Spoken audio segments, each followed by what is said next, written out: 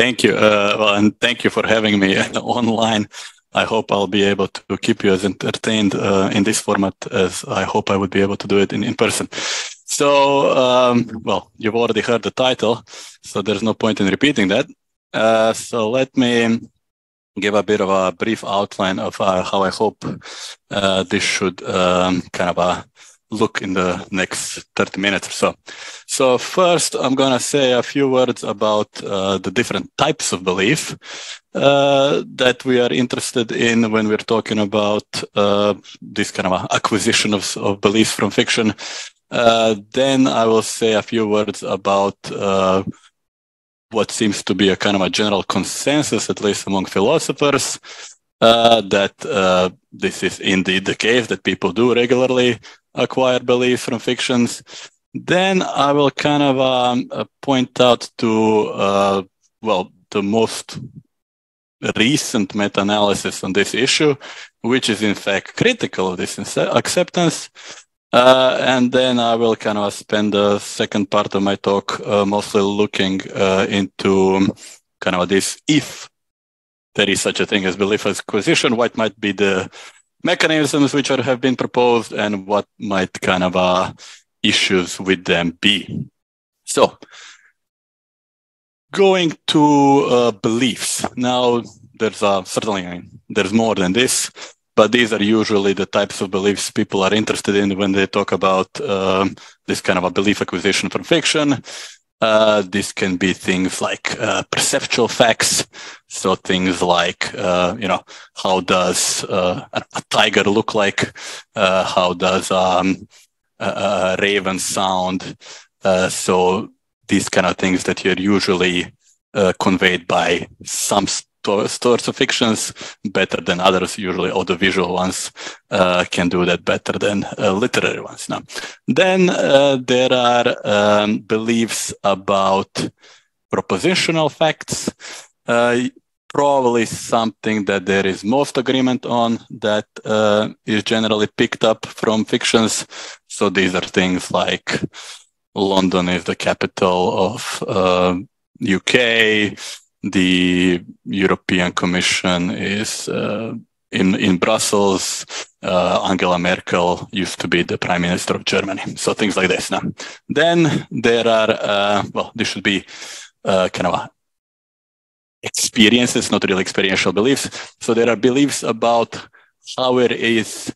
Uh, um, to be, let's say, in a certain situation. So, for instance, how it is to uh, uh, you know, be in a war zone, how it is to fly uh, on an air, in an airplane, how it is to you know ride a horse. So there are also so there are also claims that kind of a fiction can bring about these kinds of beliefs. No? And then there are things such as beliefs in stereotypes. So this is something that is kind of a particularly of importance. Uh, in kind of a my discipline uh, or in general kind of let's say so film criticism literary criticism which seems to revolve around this kind of a uh, broad questions of ideology critique uh, where it has kind of generally been assumed for a long time uh, that essentially uh, art various forms of fictions contribute to kind of a stereotypical views of um, underrepresented groups and minorities such as uh, women and all sorts of minorities, uh, sexual, ethnic, uh, uh class, race, and so forth. No? And then there are kind of a more general beliefs about um, let's say how the world works, how the kind of interhuman relationships operate, uh, how the kind of a what a friendship might look like, what a romantic affair might look like, uh, how a you know reasonable kind of a uh, relations between parents might look like, and so forth. No? And but from all of these things, I'll be mostly talking about propositional facts. No? Now, uh, there seems to be um, general acceptance of this view that we do indeed kind of a pick up um, beliefs from fictions.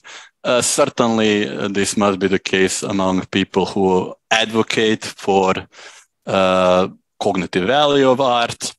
Uh, mostly they talk about you know the, the, fact that we can acquire knowledge from art, uh, various forms of knowledge.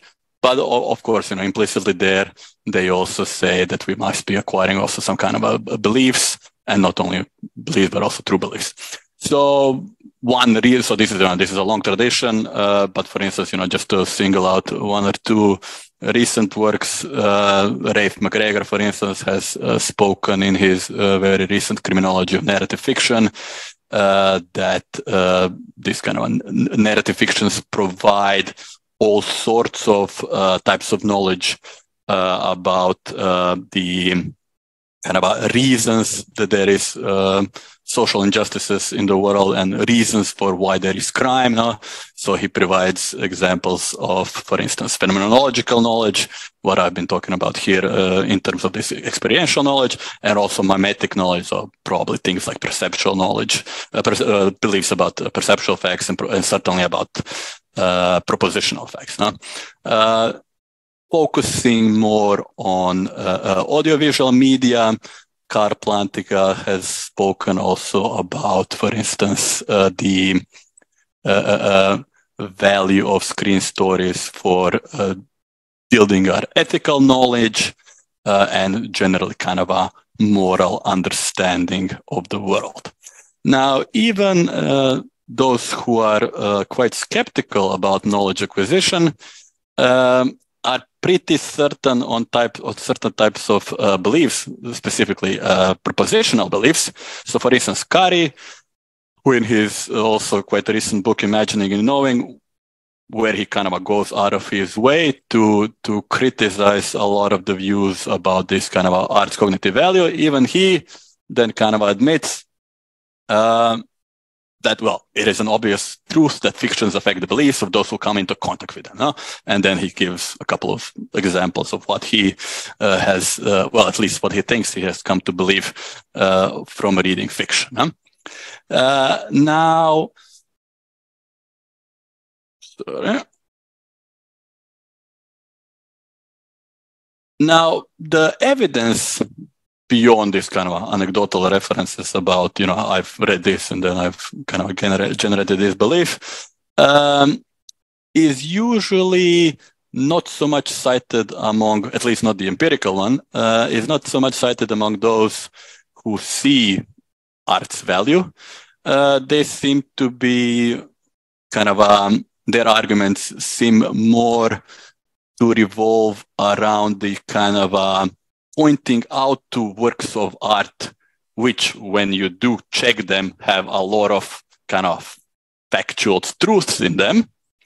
And they kind of uh, seem to be content with the idea that, you know, the very virtue that there are works of art uh, of this sort, this means that, you know, we can generate beliefs which are also true, and this can lead to, to knowledge. Now, on the other hand, uh, those who seem to be a bit more skeptical uh, seem to engage with this kind of empirical literature a bit more. Uh, but even them, uh, they seem to be citing a relatively limited kind of um, set of studies.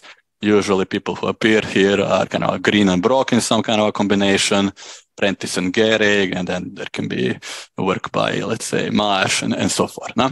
Uh, but it's usually you know five to ten studies that seem to be uh, recurrent examples of um, what is usually represented as systematic evidence of uh, acquisition of belief from fictions.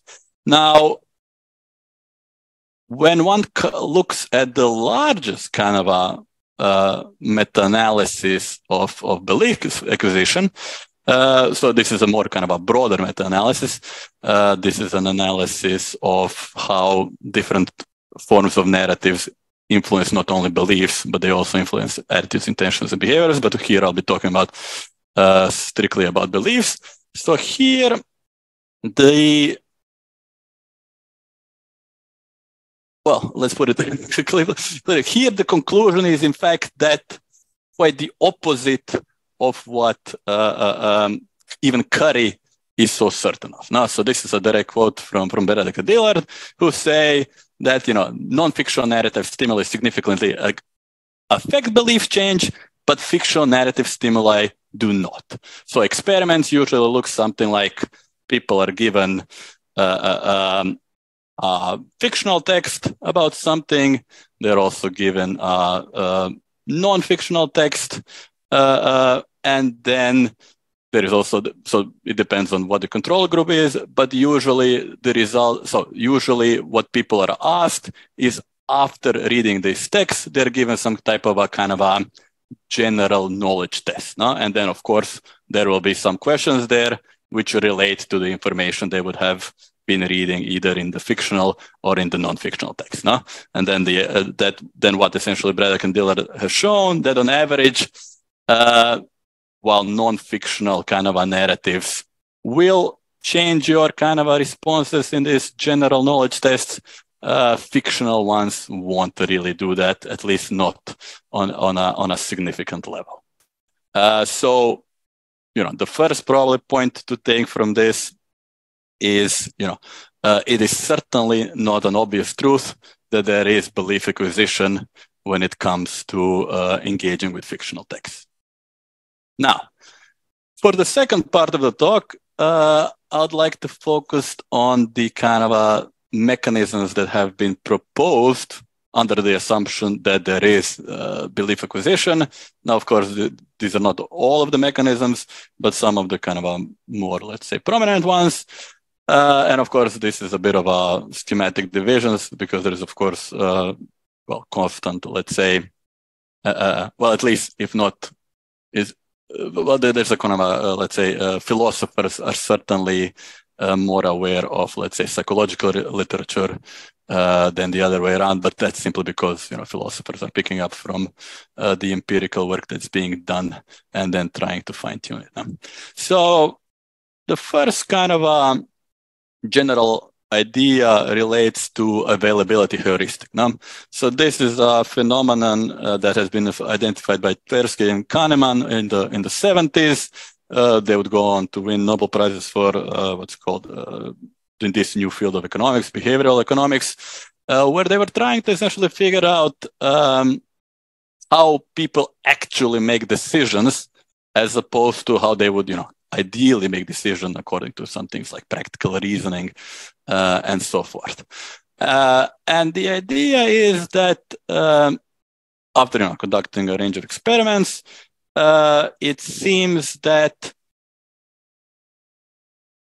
people, when asked, you know, well, when asked to do things or asked to kind of uh, answer certain types of questions, uh, they essentially use the information that is the most readily available because the logic goes something like well if it can be recalled the most quickly then it must be important. So for instance then the idea is if you have you know a read um, text a fictional text in which uh, for instance um, it is wrongly said that uh, Rijeka is a capital of Croatia, and because you know you've never heard of Croatia, uh, or let alone what the capital of Croatia might be, you're then prone to simply, when asked, when prompted a question soon after that, you know, what's the capital of Croatia? You'll you'll you'll be more likely to say Rijeka than anything else. No? Now, while this kind of operates in a number of, uh, let's say, decision-making domains, uh, one, if it were the case that it also operates uh, when engaging fiction, uh, then you would expect certain uh, types of results. And this is certainly not the types of results that the kind of a meta-analysis that I spoke about uh, lays out. So whereas this might be a valid type of kind of a, um, whereas availability heuristic might be kind of a valid uh, explanation for nonfiction, or at least you know the effects of nonfiction on belief, it certainly can't be the case uh, for fiction because you know there is no significant kind of a belief acquisition. Uh, the other thing with availability heuristic is a more kind of a theoretical problem, and that is that usually, at least, you know, what we're interested when we're talking about belief acquisition is that these are things which have some kind of a longevity to them. No, that you know, if you're acquiring beliefs, if you're acquiring you know, some kind of stereotypes, it's not that you just have this stereotype, you know, uh, immediately in the post test you know, on the same day that you've been engaged with some uh, fictional work, but rather we're probably interested in phenomena which you know have some kind of a long-term, uh, uh, um, let's say, uh, you know, duration here. And the very nature of availability heuristic is precisely that it will, you know, by, by definition, it will dissipate, you know, because it will no longer be readily available for recall. So something that tries to tackle this uh, is this idea of um, acceptance by default. No? Um, and it's something, in fact, that um, Daniel Gilbert uh, kind of claims to have gotten, um, let's say, some kind of um, suggestion from from from uh, by reading Spinoza's work, and in fact, it's precisely the opposite of what uh, Samuel Taylor Coleridge in his kind of early 19th century uh, understanding of of well, this kind of a classic definition of fiction as willing suspension of disbelief. So Gilbert, uh, by contrast, says, well, in fact, no, we're not willingly suspending disbelief. What we're doing is, in fact, willingly construct. Uh, so we're not willingly suspending disbelief. We're willingly constructing belief. So the idea is that, um, in fact, whatever we hear, see, it's we're kind of a prime to take that by default. And then only later, if some kind of a needs need need need need arises, then do we kind of um, essentially actively, uh, you know, um, negate those beliefs and actively work work work on kind of reframing and refreshing.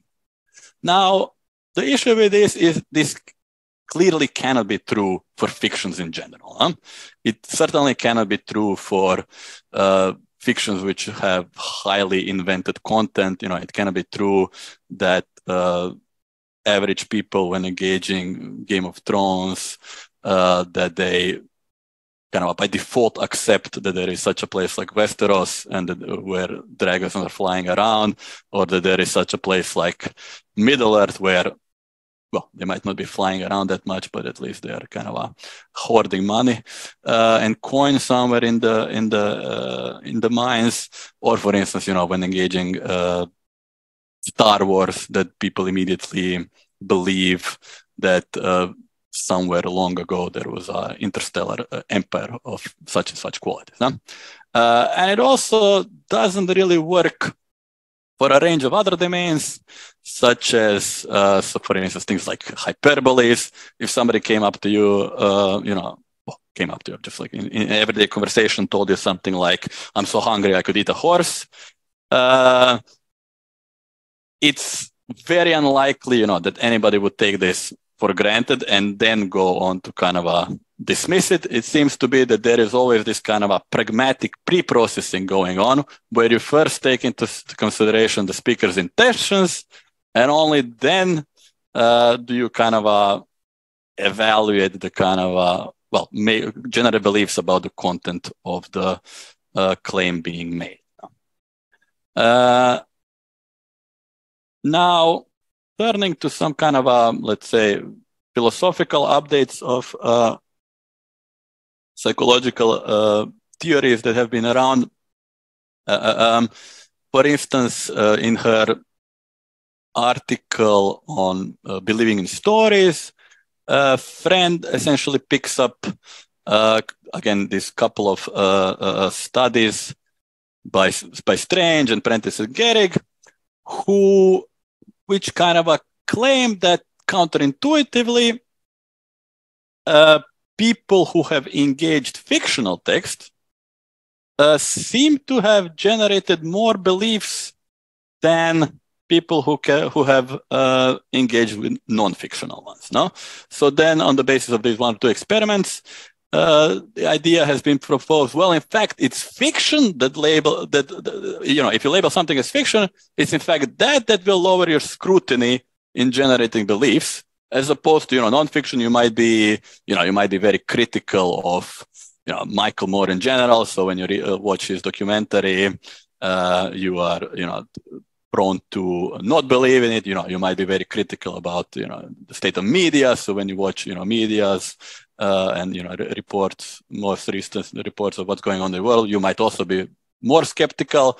But then when you're you know, uh, given something which is labeled fiction, uh, the idea is well, you're kind of you let your guard down because you know it's not fact, no. But then counterintuitively, allegedly, there is a higher effect. Now again, you know, while this is true for one or two studies, Braddock and Dillard have shown that this is certainly not true overall. Uh, so by extension, there can't really be any scrutiny lowering, no. And also, you know, to return to this more theoretical point of of um, counterintuitiveness, if indeed fiction is something that you know in this not not so if we, we're talking about here not about some kind of more technical Waltonian definitions of fiction, but something more let's say folk psychological understanding of fiction, where you know people simply you know usually people will take fiction to be something sim- simply which is not real something that is invented no? so that there really is then a problem of like why would there be scrutiny lowering if your uh, you know average person engaging fiction uh, is somebody who doesn't think fiction is true. Huh? Now, uh, one more kind of a proposal that I'll address is uh, a most recent kind of proposal that has been uh, um, put forward by Currie. So he has a kind of a concept of narrative value uh, where he points out that it's often the case in, in, in fictions that uh, usually where things deviate from the truth the most are those things that have the kind of a highest uh, narrative or dramatic payoff. No? So the idea is things which are simply there in the background uh, are things that we will be kind of generating beliefs about things which are there in the foreground, so things which have the highest narrative value, are the things that we should be most skeptical about. Huh? So he gives examples. So, for instance, um, he gives an example of um, how he himself, when he was reading uh, Tolstoy's War and Peace, uh, having seen so many kind of uh, you know f- f- uh, um, sentences written in French, uh, spoken by Russian aristocracy, he came to the conclusion that you know the Russian aristocracy of the 19th century were speaking in French. No? Um, another kind of because another way of saying that is you know nothing would have really changed about the novel if everybody was speaking in German or if everybody was speaking in well if the Russian aristocracy was speaking in yeah choose your language. Uh, similar idea is well this is also how stereotypes work precisely because uh, African American characters in Gone with the Wind, like Mammy, or uh, the assistant Miller in, eponymous uh, Mildred Pierce, precisely because you know they being there doesn't have any real narrative import for what happens in the film. It doesn't really matter for what happens to Mildred Pierce. It doesn't really matter for what happens to uh, Rhett Butler and Scarlett O'Hara. Uh, because they're background, that's why the, the idea goes we are also inclined then to form beliefs that uh, that these kind of represent uh, these stereotypical beliefs on par with how uh, the uh, the uh, the characters are represented. Huh? On the other end, things in, in the foreground, so things like, for instance, Schiller's uh, Maria Stuart, where in the final act, um, Schiller has uh, Queen Mary of Scots and Elizabeth meet. Uh, the idea is precisely, you know, because they have so much kind of a, so much is riding on this. The idea is that, well, then, you know, the readers might be skeptical uh, that in fact Mary, uh, uh, that Mary Stuart and, and, and Queen Elizabeth did meet before she was executed, no? or something similar uh, at the beginning of Dickens's um, uh, novel Our Mutual Friend, where uh, there is this uh, kind of a person who collects, whose only job is kind of to collect uh, dead floating bodies from the Thames.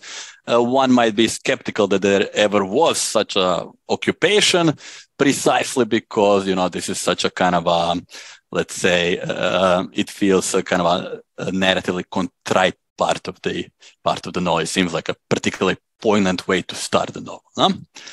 Now, as these things goes, you know, you, one can always look for counterexamples. Uh, so here are kind of a couple of ideas why narrative value is probably not the best way to account for uh, uh, uh this, let's say, subconscious process that is going on when, when engaging fictional works. Uh, when it comes to, you know, think, when it comes to background, there are certain examples we can think of which don't seem to generate any belief. So, for instance, you know, just thinking about a range of uh, uh, uh Hollywood, uh, you know, films about Roman Empire, everybody speaking their, you know, English. It doesn't seem to be the case that based on that people come to believe that you know your average Roman emperor or uh, you know or, or, or soldier or, or peasant or citizen spoke English. Uh, nor, for instance, if you you know have an uh, extensive diet of American TV shows about white collar workers, such as you know the Suits, ER, CSI this, CSI that. Uh, it it doesn't seem to be the case that people generate beliefs that your average um, you know American white collar worker is as good looking as your average TV star. No? though everybody obviously seems to be good looking there. Huh? Now, when it comes to counterexamples about this kind of a foreground, it seems that you know Currie inadvertently provides one there himself, where he because in in introducing this kind of um, Dickens's example, uh, he in fact says that on his initial reading of the novel, uh, he in fact thought that there is such a job as that there was such a 19th century job as collecting dead from the Thames. No? And only later did he kind of uh, look into this. Turns out uh, Dickens invented the whole thing. And only later did he kind of uh, retroactively uh, uh, realize that there was narrative value in this opening, as opposed to kind of a thinking it's just background information. So that, in fact, kind of a uh, opens probably the, the biggest concern here, and that's precisely what is this uh, background? You know, how, what are the criteria according to which you can you know define background as opposed to foreground? Huh? Because, for instance, I'll just return to the case of the French-speaking Russian aristocracy in Tolstoy. Uh, while you might think it's a background thing, uh, there is also good reason that you know there is a reason for this there because you know this is war and peace who are the Russians kind of fighting here? It's the you know it's the invading French army. So you know there's an irony here that the Russians are spe- that the Russian aristocracy is speaking the language of the of the kind of uh, invading troop, which is kind of causing their existential uh, threat there. Huh? So the point being here, you know, it's not quite clear what would be background as opposed to what would be foreground. Huh? And there's also things like you know middle ground there are things which are something in between even under this kind of ideal account of Currie's so consider just an example from uh, you know a recent film by Yorgos Lanthimos so Queen uh, which um, is a story about among other things uh, the, the the Queen Anne 18th uh, century 18th, 17th to 18th century kind of a uh, uh, uh, what's called a ruler of, of Britain, who in the film is represented as a lesbian. Now, this is not really background information uh, because it is important for what happens later in the story. But at the same time, it's not really the you know the this kind of um, highest level of narrative value. It's not really what the whole movie, you know, revolves about. It, what the whole re- movie really, really revolves about is the specific details of the affair that she's having with this, you know, eponymous uh, favorite. No? So what do you do with mid-ground uh, kind of um, level of information? Uh, and this is precisely what kind of a Friend also picks up upon in her discussion of uh, genres more generally, because, you know, if you've seen here, it seems that Currie's examples really come really from kind of a two domains. So it's either some kind of a historical fiction or it's uh, something that we might refer to as realistic novels, no?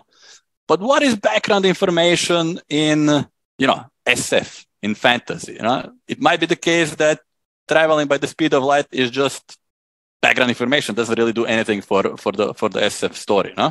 Uh, as it probably doesn't doesn't do really much for Star Wars or something like that, or for Star Trek for for that matter. No? It's just there.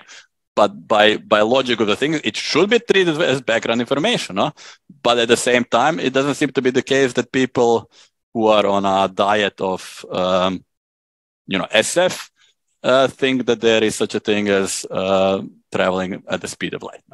So on the basis of this, um, Friend comes up, uh, well, kind of a uh, has an idea that it's probably unlikely that there will be some kind of a not only fiction level truth, but also as a fiction as some kind of super genre, but also genre level, uh, genre level kind of a rule uh, but what might help here, according to Friend, is uh, precisely some kind of personal competence. No, so for instance, while you not might be while you might not be able to uh, always figure out, um, or while it might not always be the same thing that you're uh, might not be the same logic of acquiring beliefs in you know SF as opposed to uh, horror or as opposed to um, realist uh, works, there might be some kind of a higher consistency in, for instance, you know, when you're reading one author as opposed to another author, when you're reading, when you're watching one director's films as opposed to another director's film.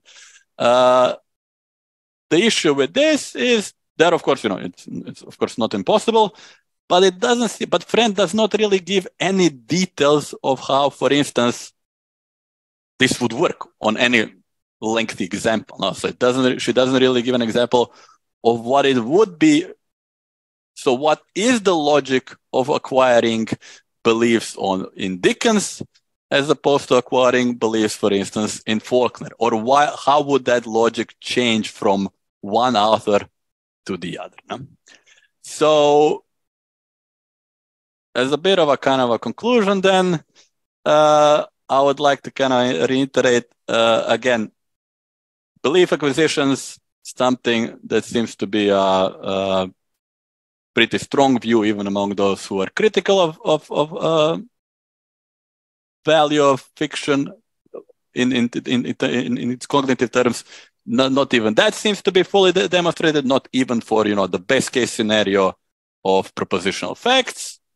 When it comes to mechanisms, it seems that the ones that are on offer uh, seems to be at least at present how they're how they're articulated the solutions seem to be unlikely uh, and you know certainly it seems to be the case that the more these subgenre levels are are places where probably are, are more promising kind of to, to explain kind of mechanisms of, of belief acquisition. Uh, but for those things, uh, details will need to be uh, provided. And of course, we would need, you know, we really would need more empirical studies because, you know, these, my examples and my counter examples revolving around narrative values, it's really just, you know, intuitive facts. It's what, you know, Currie uh, uh, thinks uh, people are likely to generate belief about, and it's what I think that people are likely to generate uh, beliefs about. So it would certainly there would be value certainly in in in doing an empirical test of of this idea of Currie's kind of a narrative value, and certainly you know once that you do more of these studies, certainly uh, another meta-analysis would definitely be uh, highly um, a, a, welcome given that the this the most recent one that I found is uh, is from 2016. So thank you for the time.